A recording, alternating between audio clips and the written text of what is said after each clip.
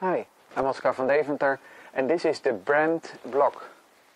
Brammed block, as you can uh, guess, has the name of Bram Cohen in it and actually this is a block version of the Bram sphere.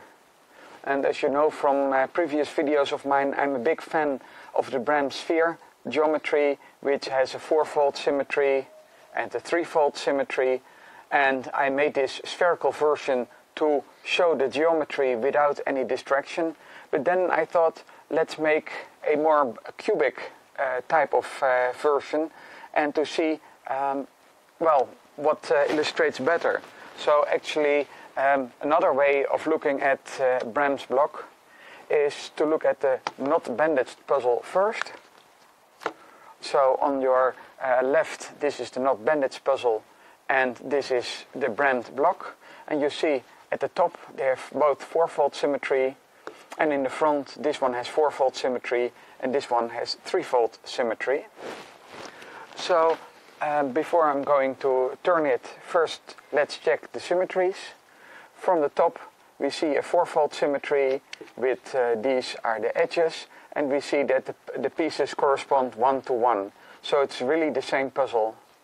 Also from the front you see the threefold symmetry. You see this, this edge here corresponds to that one.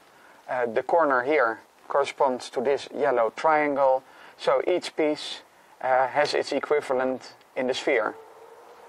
And of course this twisty puzzle twists like any twisty puzzle. You turn either around its threefold axis or around its fourfold axis. So uh, again the threefold axis, again the fourfold axis, and as you see it gets quickly scrambled. So my question to you is um, the comparison between these two puzzles.